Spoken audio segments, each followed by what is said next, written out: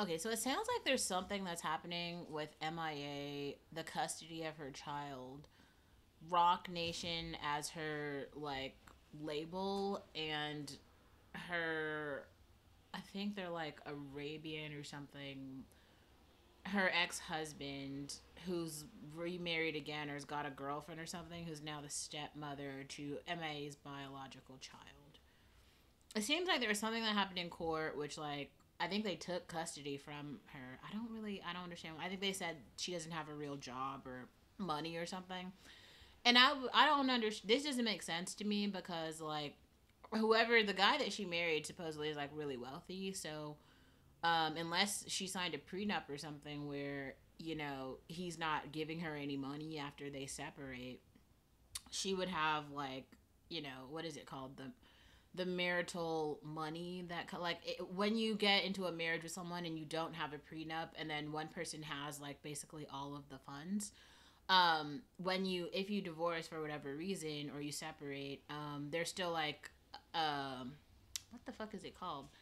It's basically like a cost of living thing that the wealthier person gives to the not as wealthy person to make sure that their lifestyle remains the same and then there's also child support. So, like, if all of that money were going to MIA, then she would have enough money to then support the child. So there wouldn't be a need for only one parent to have custody. It's very clear that like two parents need custody in um in a child's life, but I feel like this is something else. Um, it feels like this is something that's just kind of about politics in the Indian community or the Arab community. There's a lot of shit that seems to be happening with like birth, um, status, uh, like in any relationship, in any culture, in any racial group. People are gonna get together who like break up because it just doesn't work out. Like even though even with the best intentions and the you know really good people, like sometimes you're just not meant for that person and you get into something with them and you try to make it work but it's just not gonna work. It's just not gonna work and that's okay. But it is a really shitty situation because it sounds like in this situation the stepmother is trying to turn the the turn the kid against his biological mother and like that doesn't make any sense at all. Like when people try to do shit like that that's when kids grow up and they completely rebel because like as soon as a kid turns 18 they're going to like they're obviously they're going to start going out into the world on their own and they're going to be able to see shit for themselves which is like the really strange thing i think with like kanye west and north at this point. Like he's putting her in all these music videos and all these things. Like i'm not sure if they're trying to make her into an entertainer. I do think there's a lot of like white kids in america who would probably look up to her, listen to her, whatever music and stuff that she puts out, but I also think it's like seriously taking away from her ability to be a child, which is a very bad thing. It's a very, very bad thing. But at the same time, it doesn't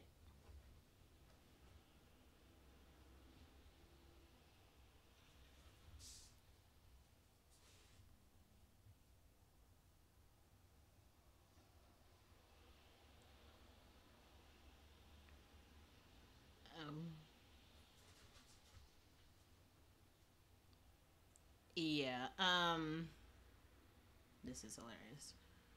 Um Yeah, I don't I really feel like that kid's to grow up and have a lot of fucking problems.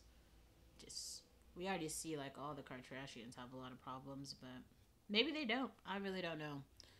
I think the whole society has a lot of problems, but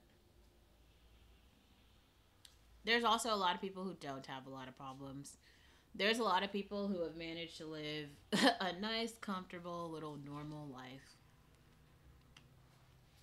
Not to be funny or anything, but I think as you get older, you will start to realize you put on your conservative jeans and your little white t shirt.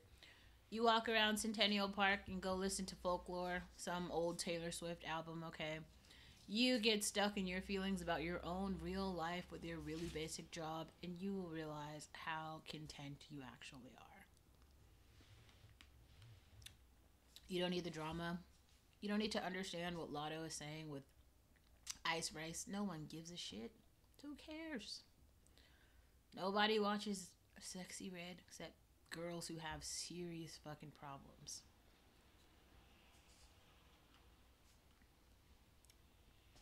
I'm sorry, like Sexyy Red will make you question femininity. She'll make you want to wear like a chastity belt. I'm no longer if Sexyy Red is a woman, I am no longer that. I don't want to be affiliated with that gender anymore. I am a they them.